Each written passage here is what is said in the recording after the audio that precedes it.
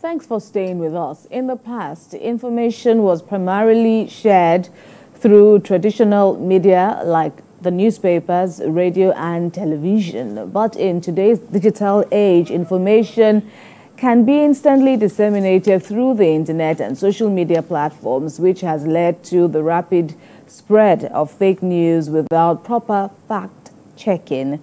Artificial intelligence is now being utilized to combat this issue by employing advanced algorithms to verify the credibility of news sources and improve the reliability of information.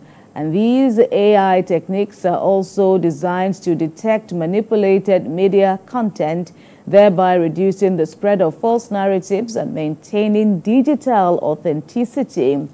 Well, we have joining us now Abideen Olasupo. He's the CEO of My AI Fact Checker. He joins us via Zoom uh, to tell, tell us about uh, this intervention, uh, talking about My AI Fact Checker. Abidin, thank you for joining us on TVC Breakfast. All right, before we go into the workings of um, this offering uh, from your end, talking about my AI fact checker. Tell us about uh, the motivation for you, uh, what you saw, the need you saw on ground uh, to come up with this solution. Thank you very much for the privilege, and I sincerely appreciate the platform and the great work you're doing at the TVC Breakfast Show. So, coming up with this solution comes stems from personal story. As an individual, I was a part of the Too Young to Run movement, and specifically, I coordinated the Too Young to Run campaign in Kwara State. So during the campaign, a whole lot of people who, are having another motive try to malign my personality, try to, you know, blackmail me, spread fake news about my personality, to talk about the fact that I was working with the, Senate pres- uh, the then Senate president to install his sons in powers. You know, different news started for, for flying around, which are ordinarily not genuine. So I was of the opinion that, you know, news like this that spread I'm not just about politics, not uh, just about business, but about something I am passionate about, which is young people inclusion in politics. A whole lot of people will be affected. So precisely at our organization, Brain Builders Development Initiative, at the core of our work is that we use data, research, and technology to, you know, carry out advocacy campaign and intervention support projects.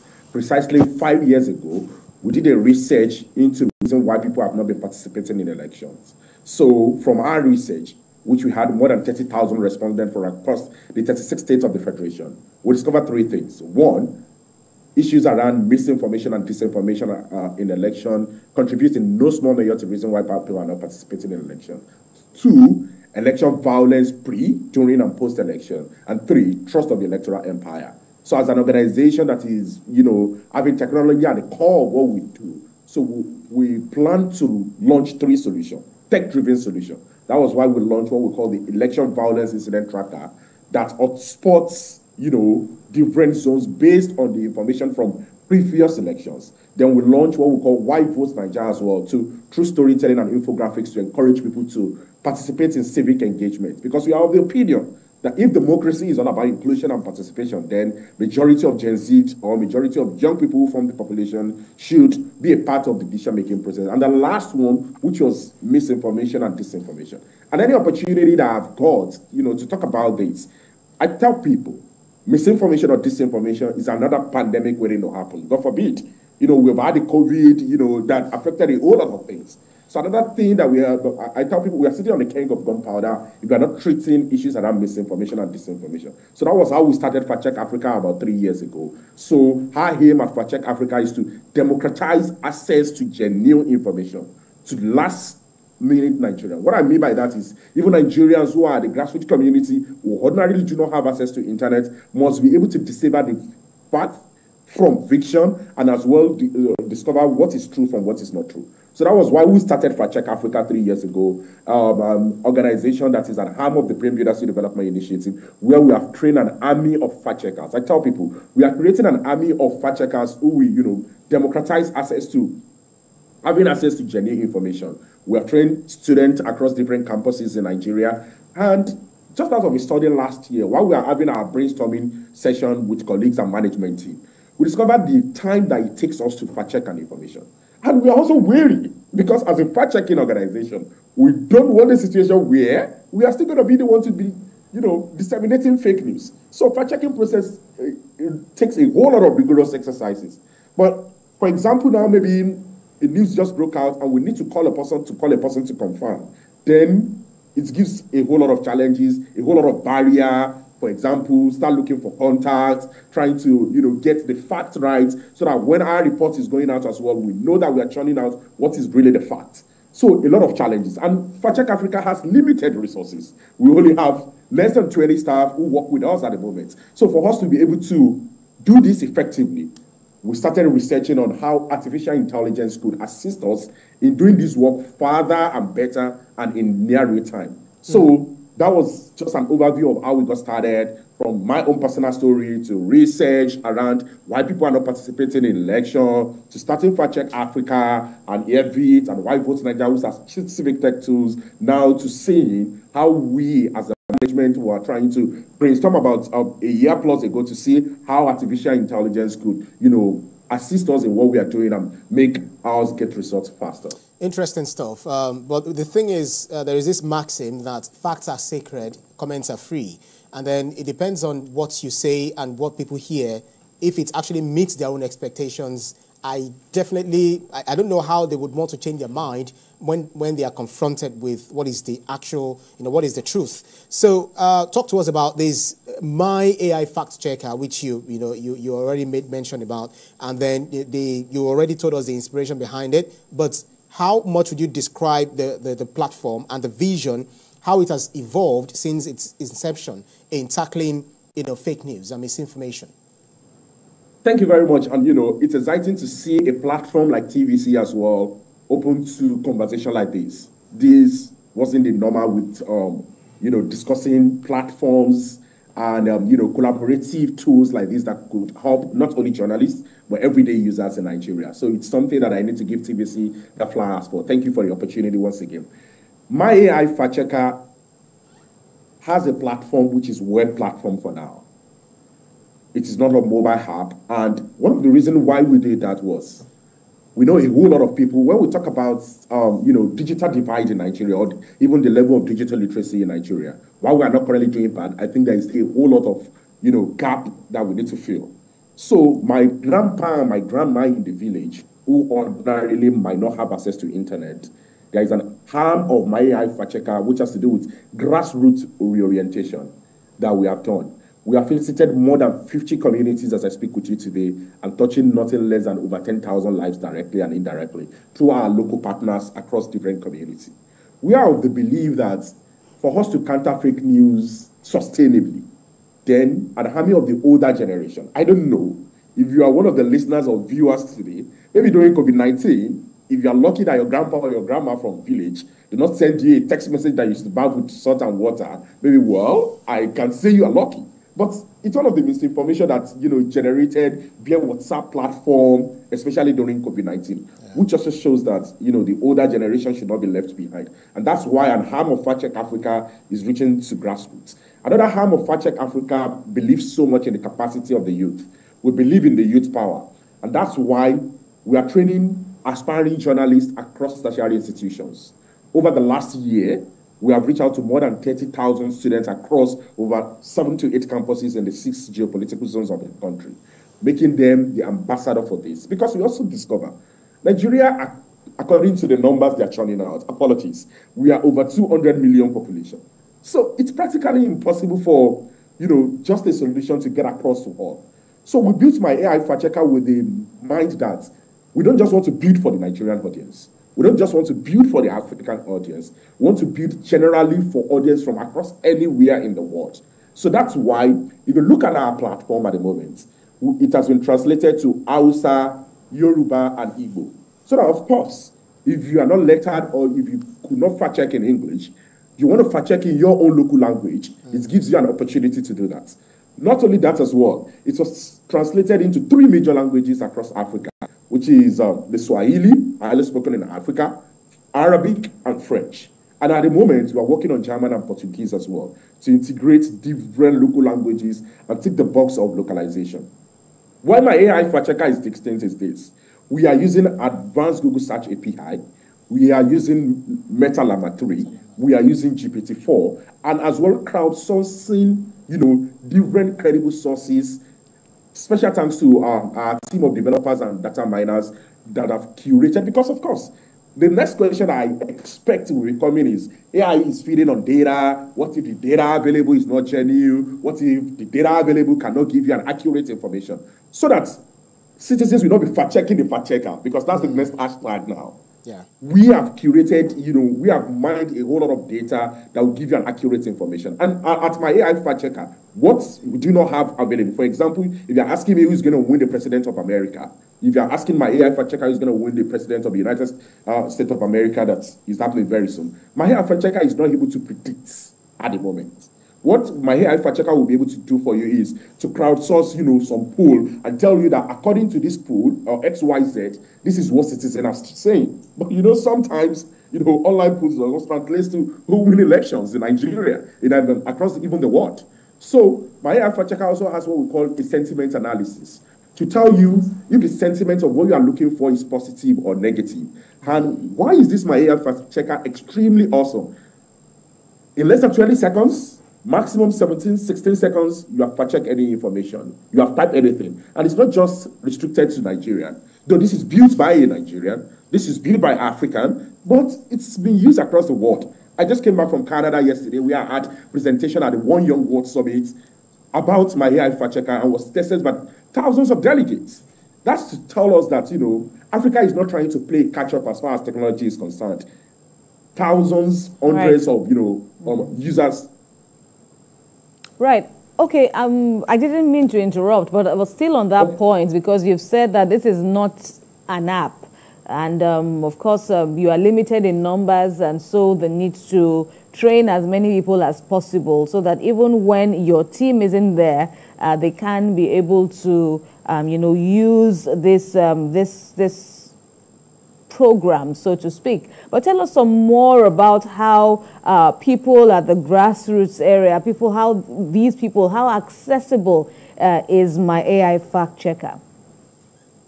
Thank you very much. That was what I was talking about the other time, that we are exceptionally different because we want to make sure that people at the grassroots community have access to this platform. And for people living with disability as well, who had, may had one difficulty or the other typing, there's also a voice to text on my AI fact checker platform as well, which just gives you opportunity to just send maybe a voice note, translate it into what you want to fact check and get the information in real time. Besides the web platform as well, we also have an interactive chatbot that you could type into and get responses. And that's why as well it has been translated into local languages. So what we are moving on to now is to, you know, use USSD code and as well create a, a, WhatsApp chatbot like the Meta WhatsApp chatbot that people have access to to ask my AI fact checker questions as well. So for grassroots community, while we have tried to train them on the offline methodology, we have been training them on online methodology as well for those who have Android phone. But the next question we should ask ourselves is, you know, not everybody who lives at the grassroots community could afford an Android phone. And that's why, you know, we are trying to also look for ways to which USS, um, uh, the fact checking platform could be USSD power in such a way that even if you have access to just this phone, this type of phone, via pressing um, a particular code on your phone, you are able to fact check that information. We are also partnering with, you know, radio a platform as we also discovered from our research that a whole lot of people in the grassroots community have access to listening to radios as well. So that when we fact check some of this information that are going viral as well, partnering with radio stations to, you know, disseminate that information is going a whole long way. So from what we have been able to do over the last years, we have discovered that people in the grassroots community are interested in intervention and innovation like this. The major challenge is the fact that they were scared of technology. And that's why we have also trying to, um, you know, storify and correct that insinuations about the fact that technology is not just here for uh, to do them bad. Technology is here for them to uh, leverage on it for good. And a case in point is the fact that a whole lot of fintech platforms are using mobile money now in Nigeria. Yeah. So if mobile money could work as well, so we are also leveraging uh, uh, as collaboration in a collaboration with a, a, team of experts, developers, and data miners as well to see ways to which grassroots community could Interesting stuff. Um, using USSD code at the moment. Right, interesting stuff. Uh, but then um, I, I'm wondering how the my AI fact checker would definitely help those of us in the newsroom because we are constantly being faced with you know uh, struggling against you know disinformation, uh, um, uh, fake news, and all of that, and always trying to fact check most of the information coming out, even from politicians, or just some things we, we get to see. Because as against, as against gatekeeping, we also do some sort of you know gate watching, what is being reported in other places, and how we can you know definitely arrive at what is you know the, the at our own level best in informing Nigeria. But we are also victims ourselves. You know, my colleague here, Kemi, myself, uh, every other person on this platform had been victims of you know um, uh, you know using our own picture and then using our yeah. own video and then we are, we are, selling some products that we don't even have any information about. So how yeah. are you helping those of us in the media, in the newsroom, and the consumer, the audience, who are the final consumers of you know, the information that bring up? Because they are using us because they know that it's a credible platform. So how do you help us?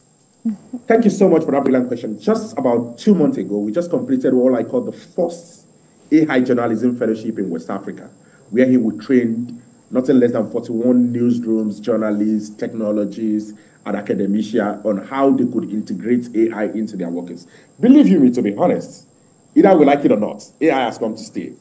So it's now over on us as individual, as corporate organization, to see ways through which we could integrate these into our workings. And I do not believe in those who threw up the words that AI is going to take our job. No matter what as well, we still need a human face to some of these things. Mm-hmm. So a major part of what we train, because of course that fellowship ran for more than three months, what we train and we invited experts both within Africa and outside Africa that you know um, have got experiences in using AI for in newsrooms and in journalism. And of course, we have the hallucination as well. We have the bias associated with AI. I will, I will be economical with the truth as well. If I'm not talking about a little bit of challenges as well associated with AI, that's, that's right. our own organization alongside others are also trying to work should we talk about the ethics? Should we talk about the regulation? Should we talk about the framework? So those challenges are there as well. But we acknowledge that. There is nothing that can come like there's no any intervention or invention that will come that if you critically analyze will not have positivity or negativity. So I was coming down from the fact that our organization also championed the first AI journalism fellowship in the whole of West Africa, where I, I said the other time that we trained uh, 41 newsrooms, um, um, journalists, researchers, and academicians on ways through which they could integrate AI. I'm so sorry as well. I'm well aware of the fact that, you know, a whole lot of bad actors are leveraging on the popularity of people like yourself and others as well to maybe create a deep fake video to convince or lure their audience that you have not been doing anything. I'm also excited to tell you that a part of our latest version that will be coming out any moment from now, we'll be able to fact check video and images. Thanks to Google, thanks to Microsoft, and in recent times, thanks for the universities that has been our partner in this as well. Because if I tell you we can do it alone, it is a lie. So we were a part of the Google for Startup AI Accelerator in recent time, uh, which gives us opportunity to access a whole lot of resources from Google platform itself. Not only that as well, what we train people, when we go for training, basic things that we tell people as citizens or as journalists, the first thing you do when you see any image is to put it on Google Reverse Image. It tells you exactly where that image is has been used before, how it was used, so that even you as a journalist or as an influencer as well will not fall in the victim. And we are currently working on naming and shaming as well, because we also discovered that a whole lot of influencers intentionally, especially during campaign, spread fake news. So we are trying to create what we call a hall of shame, where we will continue to name and shame people. Maybe when you know embassies start denying people visas, when people start losing jobs just for creating um, you know fake news or just for intentionally willing to misinform or disinform people, maybe this generation or the generations coming will take the spread of fake news serious. So at the moment, we have been working with newsroom to train journalists on how they could integrate AI into their work, while also giving them a caveat that why using AI ensure you edit? For example, if I'm asking ChatGPT or um, or my AI fact checker um, um, to curate a content for me that I want to make a presentation on TVC live show, I will be so foolish and dumb to start reading what exactly AI is giving me. And I tell people, if you have played with AI very well, there are some words associated with AI that you are going to get used to it. Definitely. AI has some big, big grammars. It has a way through which, you know, it has an analogy of how it arranges its content. So if you are a journalist and you are watching this show this morning, while I'm um, um, um, encouraging you to use AI as well, I'm also encouraging you to critically, you know, after using the AI as well, do edit and add human angle to the story that you want to push. So that of course you won't just look foolish before your audience or look dumb as well. You know, like I said, AI has come to stay. We have been partnering with news organization and we'll continue to do that as well to train much more journalists who, who, who, who, could be a beneficiary of this solution. I've actually listened to a comment, you know, uh, to a broadcast, you know, from one of the, um, you know, politicians. Let me just mention the state, Edo, you know, who read a complete speech, and I saw that it was, you know, completely written by AI. You know, when you start hearing words That like, how, like how- testaments how and you are as well. That's it. So I tell people when you play with GPT or Right. any of these AI solution very well, there's no way, no matter how smart you are, if you use AI for me,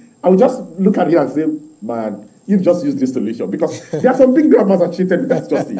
And there's the way, after you have used it, it still summarizes what exactly you have said. So I'm happy that you could note that you could notice that as well. Awesome. Right. But, you know, as we wind down on this conversation, uh, another reality to the trend now of news is that it's not just uh, the journalists that are reporting news. We even have much more, um, you know, Nigerians on the other side who call themselves newsmakers who call themselves uh, on, online journalists. So, so, so, my question is that yes, we now have AI as a solution to authenticate news, but um, how does it, you know, change our consciousness that before you even run with that story, your first thought, uh, you know, whether you're a journalist or just a citizen, your first thought should be to confirm that the story is real uh, because we saw how it how the evils of um, you know fake news how it pervaded the country during EndSARS the EndSARS protests. Uh, but so how do we move forward that you know the first thought that should come to your mind before sharing that big story is to check that it's it's genuine. Thank you very much as well. I quite understand your sentiments and I agree with you. While of course we continue to encourage, you know, our brothers and sisters who are investing in the online news media, I think it might be important, sincerely. Experience cannot be bought at the market, and that is a testament to the way, you know, you and your colleague have also been moderating this session since we've, we started. It shows you have been trained.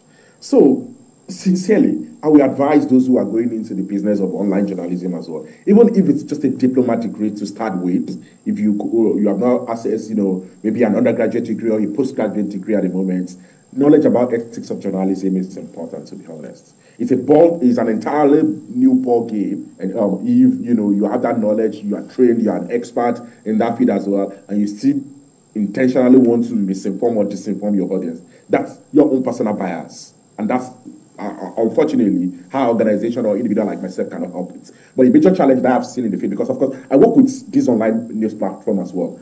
That that urgency to be the one to break that news, it's a crazy thing that is happening to us in the in, in this part of the world. Like you want your platform to be the first to break the news without you know doing like a two-factor authentication. That's what I call it. Like, did you even check if that news is genuine as well yourself? Did you make an effort to see if that press statement that was sent to you, the data content, I know this is a whole lot of work. Maybe the data that has been churned out in the press statement that was shared with you is genuine as well. But you know, they lose credibility. That's that's it. There are a whole lot of platforms that has been blacklisted by not only me, by a whole lot of colleagues as well. When we are having conversation, I ask them, Right. not just because of anything. I'm not going to mention the name of any brand. Not just because of anything, but because they are choosing to continue to spread misinformation intentionally. So hmm. what we are also trying to do as well is to, you know, critically look at the minds of Nigerian and, and you know, use storytelling to convince people because fake news travel fast, far, far, far better than any fact check information. That's the reality. Right.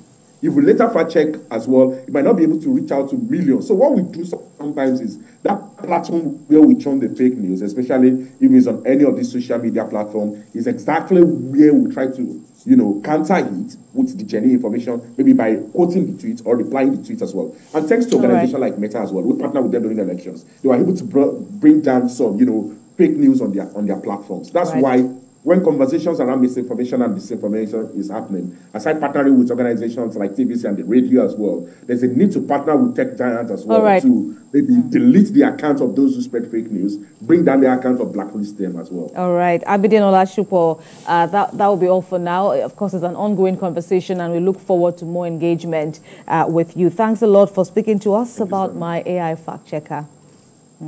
Thank you so much. Absolutely. Uh, thanks a lot, and we wish you best of luck with uh, that.